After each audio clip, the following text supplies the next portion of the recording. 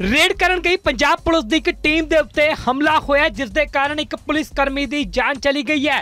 ਤਾਂ ਵੱਡੀ ਖਬਰ ਤੁਹਾਨੂੰ ਦੱਸ ਰਹੇ ਹਾਂ, ਰੇਡ ਕਰਨ ਗਈ CIA ਸਟਾਫ ਦੀ ਟੀਮ ਦੇ ਉੱਤੇ ਹਮਲਾ ਕਰ ਦਿੱਤਾ ਹੈ। ਜਾਣਕਾਰੀ ਮੁਤਾਬਿਕ ਕਿਹਾ ਜਾ ਰਿਹਾ ਹੈ ਕਿ ਇੱਕ ਨਜਾਇਜ਼ ਹਥਿਆਰ ਹੋਣ ਦੀ ਇਸ ਪਿੰਡ ਦੇ ਵਿੱਚ ਸੂਚਨਾ ਮਿਲੀ ਸੀ, ਜਿਸ ਦੇ ਉੱਤੇ CIA ਦੀ ਟੀਮ ਜਦੋਂ ਰੇਡ ਕਰਨ ਦੇ ਲਈ ਪਹੁੰਚਦੀ ਹੈ, ਤਾਂ ਇੱਕ ਸ਼ਖਸ ਦੇ ਵੱਲੋਂ ਗੋਲੀਆਂ ਚਲਾ ਦਿੱਤੀਆਂ ਜਾਂਦੀਆਂ ਨੇ, ਜਿਸ ਦੇ ਵਿੱਚ ਇੱਕ ਪੁਲਿਸ ਕਰਮੀ ਦੀ ਮੌਤ ਹੋ ਗਈ ਹੈ। ਤਾਂ ਵੱਡੀ ਖਬਰ ਮੁਕੇਰੀਆ ਤੋਂ ਸਾਹਮਣੇ ਆ ਰਹੀ ਹੈ, ਜਿੱਥੇ ਕਿ CIA ਸਟਾਫ ਦੀ ਟੀਮ ਤੇ ਹਮਲਾ ਹੋਇਆ ਰੇਡ ਕਰਨ ਦੇ ਲਈ CIA ਸਟਾਫ ਦੀ ਟੀਮ ਮੌਕੇ ਤੇ ਪਹੁੰਚੀ ਸੀ ਤੇ ਹਮਲੇ ਦੇ ਵਿੱਚ ਕਿਹਾ ਜਾ ਰਿਹਾ ਹੈ ਕਿ ਇੱਕ ਪੁਲਿਸ ਕਰਮੀ ਦੀ ਮੌਤ ਹੋ ਗਈ। ਤਾਂ ਪਿੰਡ ਮਨਸੂਰਪੁਰ ਚ ਰੇਡ ਕਰਨ ਦੇ ਲਈ ਇਹ CIA ਦੀ ਟੀਮ ਪਹੁੰਚੀ ਹੋਈ ਸੀ ਤਾਂ ਵੱਡੀ ਖਬਰ ਤੁਹਾਨੂੰ ਦੱਸ ਰਹੇ ਹਾਂ। ਮੁਕੇਰੀਆਂ ਤੋਂ ਸਾਹਮਣੇ ਆਈ ਹੈ ਜਿੱਥੇ ਕਿ ਇੱਕ ਨਜਾਇਜ਼ ਹਥਿਆਰ ਹੋਣ ਦੀ CIA ਸਟਾਫ ਨੂੰ ਸੂਚਨਾ ਮਿਲੀ ਸੀ।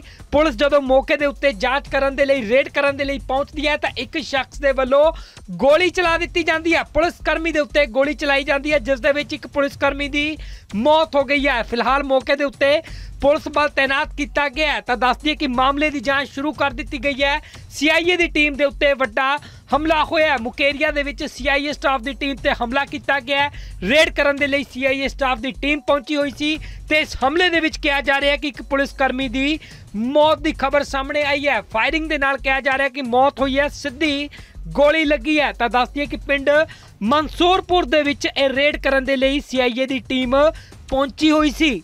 ਰੇਡ ਕਰਨ ਗਈ ਪੰਜਾਬ ਪੁਲਿਸ ਦੀ ਇੱਕ ਟੀਮ ਦੇ ਉੱਤੇ ਹਮਲਾ ਹੋਇਆ ਜਿਸ ਦੇ ਕਾਰਨ ਇੱਕ ਪੁਲਿਸ ਕਰਮੀ ਦੀ ਜਾਨ ਚਲੀ ਗਈ ਹੈ। ਤਾਂ ਵੱਡੀ ਖਬਰ ਤੁਹਾਨੂੰ ਦੱਸ ਰਹੇ ਹਾਂ, ਰੇਡ ਕਰਨ ਗਈ CIA ਸਟਾਫ ਦੀ ਟੀਮ ਦੇ ਉੱਤੇ ਹਮਲਾ ਕਰ ਦਿੱਤਾ ਹੈ। ਜਾਣਕਾਰੀ ਮੁਤਾਬਿਕ ਕਿਹਾ ਜਾ ਰਿਹਾ ਹੈ ਕਿ ਇੱਕ ਨਜਾਇਜ਼ ਹਥਿਆਰ ਹੋਣ ਦੀ ਇਸ ਪਿੰਡ ਦੇ ਵਿੱਚ ਸੂਚਨਾ ਮਿਲੀ ਸੀ, ਜਿਸ ਦੇ ਉੱਤੇ CIA ਦੀ ਟੀਮ ਜਦੋਂ ਰੇਡ ਕਰਨ ਦੇ ਲਈ ਪਹੁੰਚਦੀ ਹੈ, ਤਾਂ ਇੱਕ ਸ਼ਖਸ ਦੇ ਵੱਲੋਂ ਗੋਲੀਆਂ ਚਲਾ ਦਿੱਤੀਆਂ ਜਾਂਦੀਆਂ ਨੇ, ਜਿਸ ਦੇ ਵਿੱਚ ਇੱਕ ਪੁਲਿਸ ਕਰਮੀ ਦੀ ਮੌਤ ਹੋ ਗਈ ਹੈ। ਤਾਂ ਵੱਡੀ ਖਬਰ ਮੁਕੇਰੀਆ ਤੋਂ ਸਾਹਮਣੇ ਆ ਰਹੀ ਹੈ, ਜਿੱਥੇ ਕਿ CIA ਸਟਾਫ ਦੀ ਟੀਮ ਤੇ ਹਮਲਾ ਹੋਇਆ ਹੈ।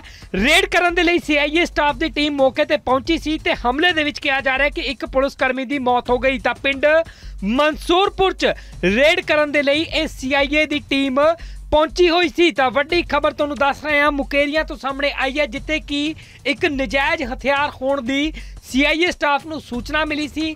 ਪੁਲਿਸ ਜਦੋਂ ਮੌਕੇ ਦੇ ਉੱਤੇ ਜਾਂਚ ਕਰਨ ਦੇ ਲਈ, ਰੇਡ ਕਰਨ ਦੇ ਲਈ ਪਹੁੰਚਦੀ ਹੈ ਤਾਂ ਇੱਕ ਸ਼ਖਸ ਦੇ ਵੱਲੋਂ ਗੋਲੀ ਚਲਾ ਦਿੱਤੀ ਜਾਂਦੀ ਹੈ। ਪੁਲਿਸ ਕਰਮੀ ਦੇ ਉੱਤੇ ਗੋਲੀ ਚਲਾਈ ਜਾਂਦੀ ਹੈ, ਜਿਸ ਦੇ ਵਿੱਚ ਇੱਕ ਪੁਲਿਸ ਕਰਮੀ ਦੀ ਮੌਤ ਹੋ ਗਈ ਹੈ। ਫਿਲਹਾਲ ਮੌਕੇ ਦੇ ਉੱਤੇ ਪੁਲਿਸ ਬਲ ਤਾਇਨਾਤ ਕੀਤਾ ਗਿਆ ਤਾਂ ਦੱਸਦੀ ਹੈ ਕਿ ਮਾਮਲੇ ਦੀ ਜਾਂਚ ਸ਼ੁਰੂ ਕਰ ਦਿੱਤੀ ਗਈ ਹੈ।